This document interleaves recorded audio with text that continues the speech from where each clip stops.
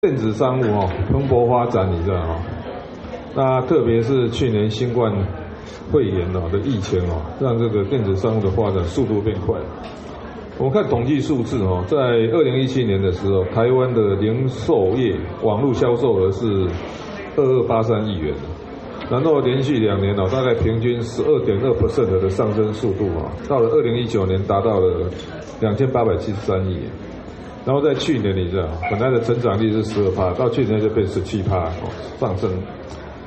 那反过来看，你知道，当电子商务快速成长的时候，实体商务就减少了，所以大概去年是减少四点八不甚的。所以在未来的时间哦，这个纯粹的实体店面哦，它不再是卖商品，它应当是卖生活体验。不管怎样，它必须做一些数位转，是不必须做一些转型。那。反过来哈，在线上的销售哈，电子商务也不一定它是完全的电子商务，也许线上线下哈虚实整合怎么做，这是我们要思考的东西。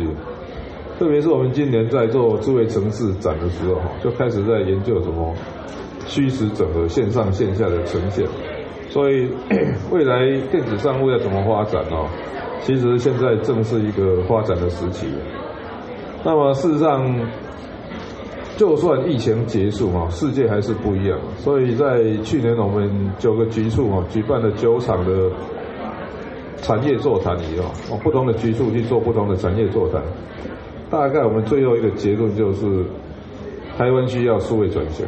哦，那我们出了一本后疫情时代台北市政府啊产业数位转型政策白皮书啊，如果大家。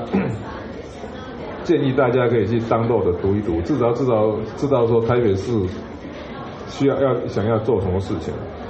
那我们看统计数字哦，去年大概台湾经济大好了哈。我看全世界 GDP 成长的哦，叫得出名字的国家只有两个，一个台一个中国，其他全部是负的，你知道吗？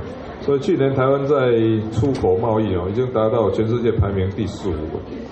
那在这个基础之上哦，我们台北市大概有两二十三万家的企业哈。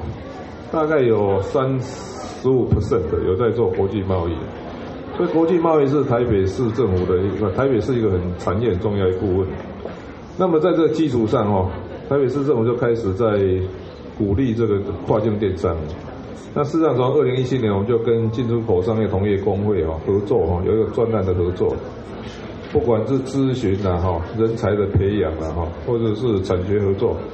那到现在大概有六百家的企业有参与啊，营业额有十二亿。另外，我们也在做这个大专院校跨境电商的产学合作，产官学合作哦，那也训练了五百三十一名的大专院校学生哦，到本市的企业合作。那在二零一九年，台北市政府开始有叫台北新贸奖，就是给这些跨境电商的标杆企业，你知道吗？一个奖项，你知道吗？那也希望透过这一种示范跟观念的传播，你知道哈，让这个跨境电商在台北市可以更蓬勃发展。那今年的这个增建，你知道哈，就是那个报名哦，从五月五号开始哦，两个月。那么欢迎各个领域的跨境电商的业者哈，先来报名。